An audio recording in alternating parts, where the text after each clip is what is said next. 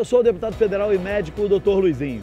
Hoje eu estou aqui em Volta Redonda, no sul fluminense, onde nós tivemos a oportunidade, como secretário estadual de saúde, de abrir o Hospital Regional Zilda Arles. Esse hospital que durante a pandemia salvou milhares de vidas. Hoje esse hospital funciona com leitos de CTI adulto, CTI pediátrico e com centro cirúrgico. É por isso que você conhece o nosso trabalho e confia na gente.